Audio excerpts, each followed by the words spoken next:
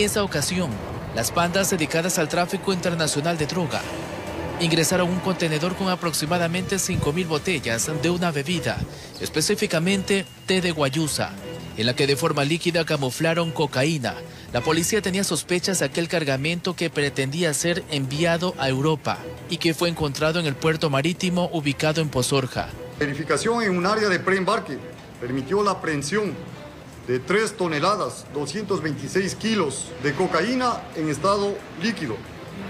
La sustancia fue hallada tras la alerta de un can de nombres NOAC en 286 pacas con 5.720 botellas la droga tenía como destino Alemania.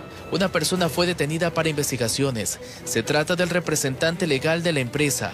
Las unidades policiales encargadas del control de los puertos están detrás de esta agrupación que utiliza métodos que son difíciles de detectar por escáneres. Es la primera vez que, presenta, es, eh, el camuflaje también es llamativo, está dentro de, de un té de guayusa la cocaína líquida que ha sido sometida a pruebas preliminares de campo dando positivo para alcaloide. Mientras que en el puerto marítimo de Guayaquil se dio otro golpe al narcotráfico. En esa ocasión, 1.500 kilos de cocaína fueron encontrados en sacos dentro de un contenedor con carga de teca que también iba a ser llevado hacia Europa. Con esto, el costo social, el trabajo de Policía Nacional, evita que aproximadamente 15 millones 44 mil 940 dosis lleguen a los mercados internacionales.